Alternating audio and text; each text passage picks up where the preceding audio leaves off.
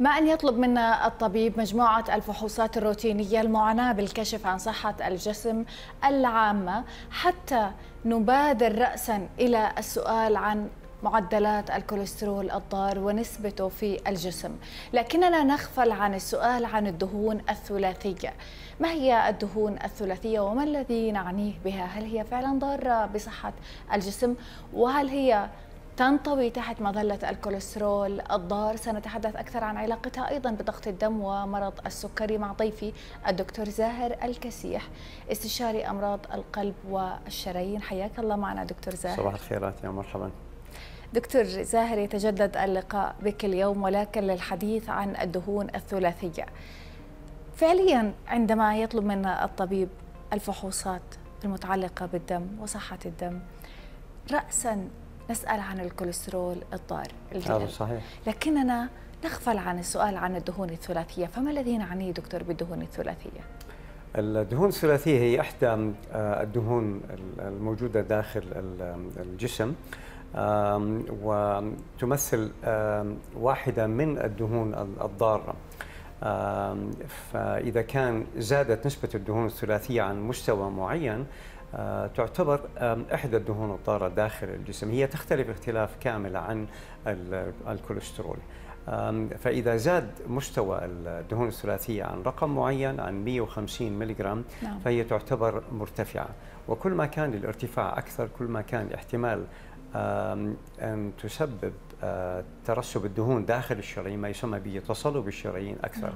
لكن احتمال أن تسبب هذا التصلب هو أقل من الكوليسترول الضار اللي هو ال LDL عادة وما يسمى بالنون HDL فإنما خاصة إذا اقترنت مع مع أشياء أخرى مثل ارتفاع ضغط الدم أو أو مرض السكر أو مقاومة الإنسولين أو السمنة فهذا هنا تصبح مؤشر خطر.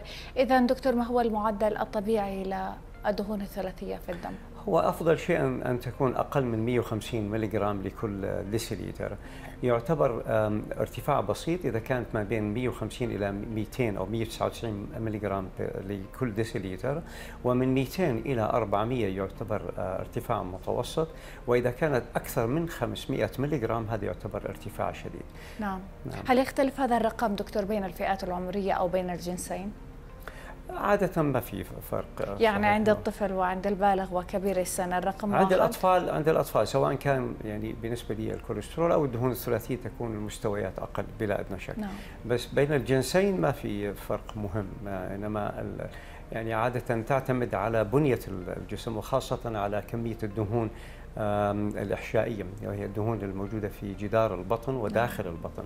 كل ما زادت كمية الدهون الموجودة في جدار البطن وفي تجويف البطن كل ما زادت الدهون الثلاثية. المشكلة في الدهون الثلاثية هي أنها إذا كان وصلت لمستوى 500 ملغ فأكثر أو 1000 ملغ أو آلاف الملغرامات فهذا قد يكون أحد الأسباب التي قد تؤدي لالتهاب البنكرياس وهذا أحيانا قد يكون التهاب سيء للغاية. نعم دكتور عندما تحدثنا عن معدلات الدهون الثلاثية الطبيعية في الدم وقلت أنها لا تختلف إلى حد كبير بين الفئات العمرية لكن لا شك تكون عند الأطفال أقل إذا هل من الممكن فعلا أن يعاني الطفل من دهون ثلاثية أو كوليسترول دار؟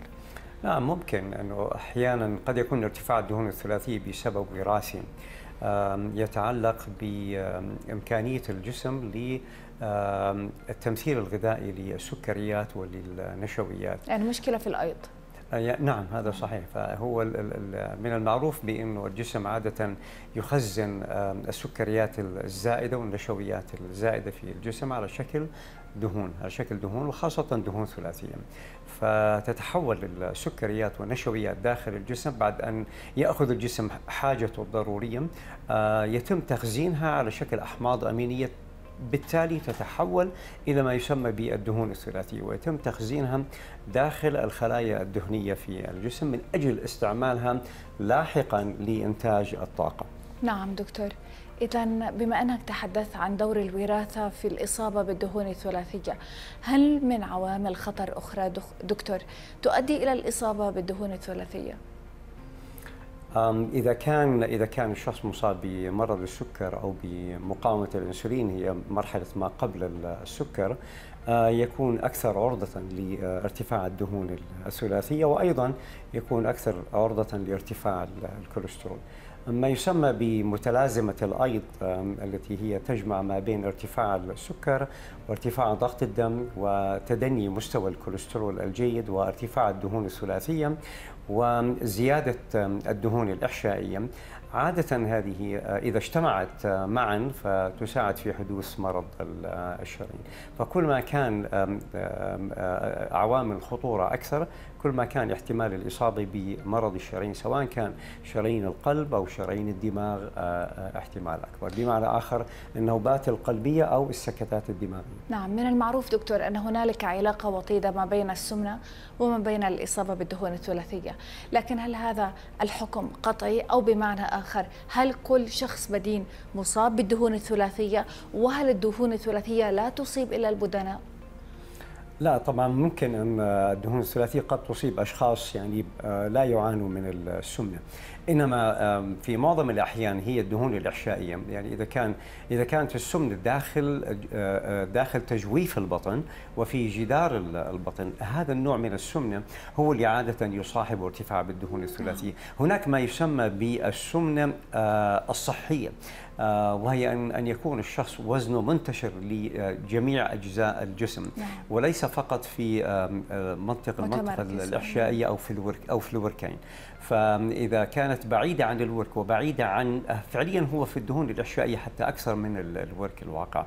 هو زيادة الدهون الإحشائية اللي هي في جدار البطن وداخل تجويف البطن يعني بمعنى آخر على على الكلى مثلا على الكبد يعني في في الغشاء اللي اللي عادة بيمسك الأمعاء داخل البطن. هذه الدهون ما تسمى بالدهون الإحشائية هي اللي عادة تساعد بحدوث مقاومة الإنسولين ابتداء ثم المرحلة اللاحقة هي مرحلة مرض السكر. إذا دكتور هذا يقودني إلى سؤال. الدهون الثلاثية هل من أعراض لها عند ارتفاع معدلها في الدم ولا يجب فقط إجراء فحص معين للكشف عنها؟ وللأسف في معظم الأحيان لا يوجد أعراض لارتفاع الدهون الثلاثية. في حالات نادرة قد يكون هناك ترسبات دهنية خاصة فوق الجفن العلوي آه، في المنطقة هذه آه، فوق الجفن العلوي قد يحصل ترسبات دهنية تسمى زانثيلازما ترسبات اللي على شكل نقاط بيضاء قد دكتور. تكون نقاط أو على شكل صفيحات وأحيانا قد يكون هناك ترسبات في هذه المنطقة مثلا من من الذراعين أو هذه المنطقة عند آه، الركب فقد يكون هناك ترسبات دهنية خاصة إذا شكلها كان كيف دكتور؟ يعني ممكن المريض نفسه هي ترسبات دهنية وعادة لونها أصفر لونها أصفر هي عبارة عن ترسبات دهنية وعادة آه، تتناسب طردا مع آه، نسبة الدهون الثلاثية وخاصة آه، إذا كان ارتفاع الدهون الثلاثية وراثيا. أما في الحالات العادية اللي, هي عادة تتعلق بزيادة الوزن من النادر أن, تحصل هذه الترسبات. إنما أعراض أخرى لا يوجد أعراض أخرى. نادر جدا ما تحصل أعراض أخرى مع ارتفاع الدهون الثلاثية. فإذا لابد من إجراء فحص الدم كما هو الحال بالنسبة للكوليسترول نعم. من أجل التأكد من من كونه هل الشخص يعاني من ارتفاع الدهون الثلاثية أو هل يعاني من ارتفاع الكوليسترول فهو مثله يعني مثله مثل حالة الضغط يعني الضغط عادة يسمى بالمرض الصامت هذا نعم. أيضا في معظم الأحيان آه، لا يوجد أعراض له هل هذا يعني دكتور أن الفحص السريري والكلينيكي غير كافي للكشف عن وجود أعراض ومؤشرات للإصابة بالدهون الثلاثية عند المريض. هذا صحيح إلا إذا كانت يعني حالة زيادة الدهون الثلاثية هي من النوع الوراثي. من النوع الوراثي عادة يصاحبها آه، ارتفاع آه، عالي جدا بنسبة الدهون الثلاثية وتحصل هذه الأعراض اللي هي عبارة عن ترسبات دهنية آه، على الجسم اسمح لي دكتور إذا كان السبب وراثيا هل هذا يعني أنه لو كان نمط الحياة اللي بيعيشه المريض صحي قطعا سيصاب بدهون الثلاثية لوجود عامل أو استعداد وراثي؟ هو كل ما كان كل ما كان استهلاك أو أو استخدام السكريات أكثر كل ما كان تناول الكربوهيدرات النشويات أكثر كل ما تحولت داخل الجسم إلى دهون فإذا كانت السعرات الحرارية كبيرة عالية فهذا عادة يصاحب ارتفاع بنسبة الدهون الثلاثية. طبعا يعني الجسم يأخذ حاجته من السكريات وبعد ذلك يتم تحويل السكريات داخل الجسم إلى آه، دهون ثلاثية وتخزن داخل الخلايا الدهنية في الجسم. إذا هي تقترن اقتران كامل مع آه، بتناول السكريات نعم. والنشويات البسيطة وبمقدار السعرات الحرارية التي يتناولها الشخص خلال ال 24 ساعة. لم تشير دكتور إلى تناول تناول الدهون أيضا الدهون المشبعة والدهون المتحولة تلعب دورا نعم. هاما ولكنه أقل يعني الغريب في الموضوع تخيل دكتور يعني الناس نعم. يعتقدون إنه أنا إذا ابتعدت عن تناول الدهون آه، والغذاء كامل الدسم إذا أنا في في أمان لا يعتقد أو لا يظن بإنه السكريات والحلويات والكربوهيدرات والنشويات قد تلعب دورا في الإصابة بالدهون الدهون الدهون المشبعة أكثر اقترانا بارتفاع الكوليسترول وخاصة الكوليسترول الضار داخل الجسم آه. فكل ما تناول الشخص يعني دهون مشبعة أو دهون متحولة يعني مثل السمنة والزبدة مثلا والدهون المصنعة فهذه عادة تقترن بارتفاع نسبة الكوليسترول وخاصة الكوليسترول الضار اللي هو عادة يعني آه، يسبب مرض الشرايين أكثر من ارتفاع الدهون الثلاثية. نعم. الآن نأتي إلى السؤال الذي ينتظره الكثير من المشاهدين في محور هذه المقابلة وهو العلاج كيف يحدد شكل العلاج؟ هل يكون بتغيير نمط الحياة أم بأقراص دوائية أم بإجراءات أخرى أنتم تختارونها كاطباء؟ طبعا الموضوع يعتمد على مستوى الدهون الثلاثية، إذا كان الارتفاع بسيط مثلا 200 ملغ لكل ديسيليتر مثلا أو أقل من 400 ملغ لكل ديسيليتر، نبدأ بالعلاج عن طريق تغيير آه، نمط الحياة بمعنى آخر زيادة النشاط الحركي بان أن يمارس الشخص الرياضة يوميا أو على الأقل خمسة أيام من كل أسبوع وأقلها نصف ساعة آه، يوميا أو نصف ساعة خمسة مرات من كل أسبوع. نعم. إضافة لتجنب السكريات رياضة دكتور تكون عنيفة يعني ولا؟ يعني عدة أشكال من الرياضة. بالدرجة الأولى ما يسمى بالرياضة الهوائية أو الكارديو لكن يمكن أيضا حمل بعض الأوزان. يعني يعني ليس المقصود هو آه، يعني آه، زيادة الكتلة العضلية لكن المقصود هو يعني حرق السعرات الحرارية. فكل ما إنه يعني الشخص يعني زادت زادت زاد نشاط الشخص الحركي كل ما تم استعمال السعرات الحرارية الزائدة من أجل تجنب تشكل الدهون الثلاثية. كل ما قلت السكريات كل ما قلت النشويات البسيطة آه، استهلاكا كل ما قل إنتاج الأحماض الأمينية وبالتالي الدهون الثلاثية داخل الجسم. إذا لم ينجح هذا الأسلوب يعني تغيير نمط الحياة من ناحية الطعام ومن ناحية الرياضة نلجأ عادة للعلاج. نبدأ عادة بعلاجات الكوليسترول وهي يعني دكتور اسمح لي قبل أن نتحدث عن العلاجات الدوائية كم المهلة التي تعطونها للمريض حتى فعلا إنه يتخلص من هذا المعدل المرتفع من الدهون الثلاثية داخل الدم من خلال تغيير نمط الحياة.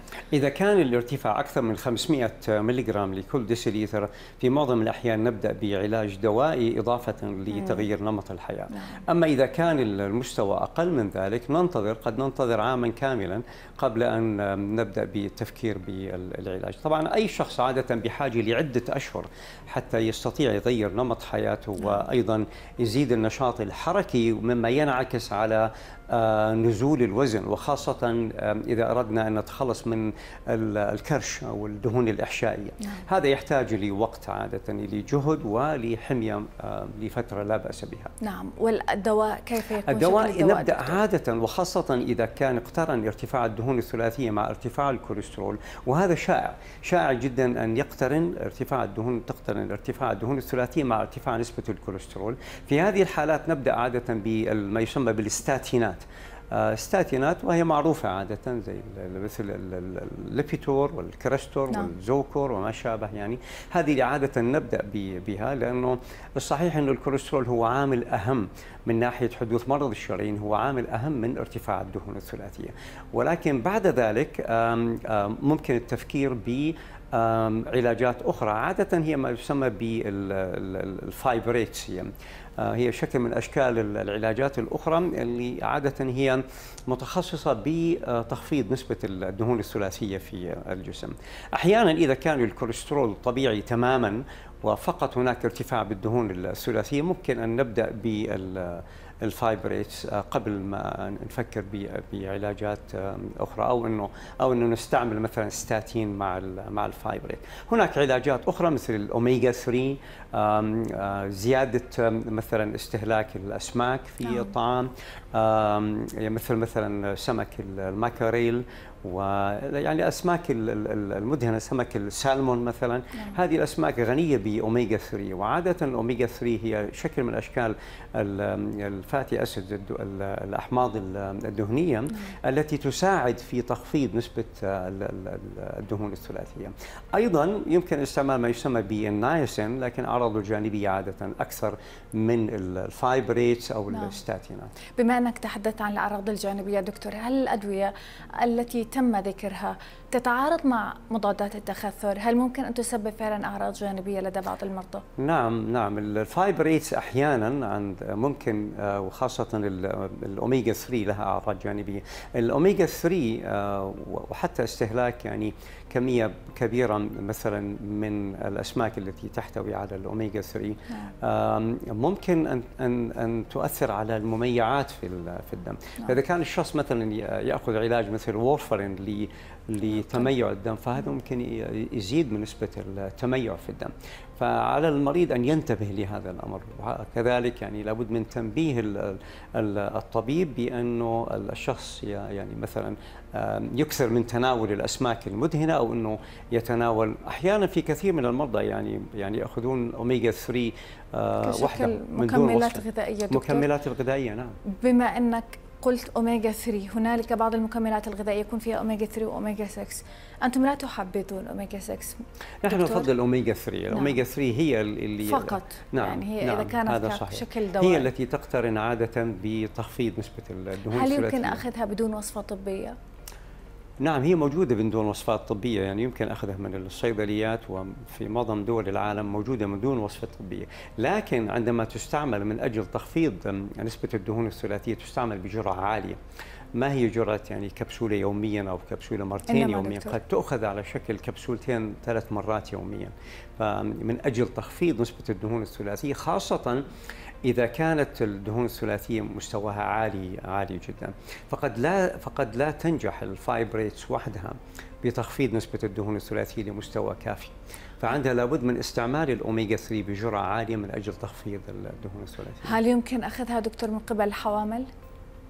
اجمالا يعني في الثلاث أشهر الأولى من الحمل نتجنب جميع العلاجات. نعم. في في الثلث الثاني والثلث الثالث خلال الحمل يمكن أخذها على أنه يتم إيقافها عادة قبل قبل الولاده باربعه خمس خمس أيام. نعم دكتور. دكتور اسمح لي بسؤال أخير. في حال إهمال علاج الارتفاع للدهون الثلاثية في الدم ما هي عواقب الخطر دكتور؟ نعم العواقب إذا كانت النسبة أكثر من 500 ملغ فقد يصاحب هذا الارتفاع وخاصة إذا كان وصل لآلاف قد يؤدي لالتهاب البنكرياس والتهاب البنكرياس هو أحد أسوأ أنواع الالتهابات نعم. آه، التي يمكن أن تحدث. الارتفاع المتوسط إلى إلى إلى الشديد آه، هو أحد العوامل التي تساعد في حدوث آه، مرض الشرايين سواء كان شرايين القلب أو شرايين الدماغ السكتات الدماغية أو السكتات القلبية الجلطات القلبية فهو يساعد بترسب الدهون داخل الشرايين. نعم.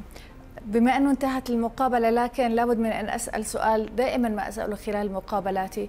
إلى من نتجه عند إجراء مثل هذه الفحوصات عند وجود معدل عالي من الكوليسترول الضار من الدهون الثلاثية طبيب القلب طبيب أمراض الدم؟ إلى من نتجه الباطني دكتور؟ هو فعليا أي طبيب حتى لو كان طبيب عام بإمكانه إنه يتحكم بارتفاع وبالنسبة للأدوية دكتور ممكن يعطيها طبيب عام؟ من الممكن. لكن إذا كان اقترن ارتفاع الكوليسترول وارتفاع الدهون الثلاثية بارتفاع ضغط الدم بالسكر بالسمنة وبتاريخ مرض شرايين بالعائلة فعندها لابد من مراجعة طبيب القلب. كل الشكر لحضورك معنا الدكتور زاهر الكسيح استشاري أمراض القلب والشرايين على ما قدمته من معلومات جدا مهمة عن الدهون الثلاثية في الدم. نسأل الله السلامة والعافية للجميع. شكرا دكتور. شكرا جزيلا. شكرا جزيلا.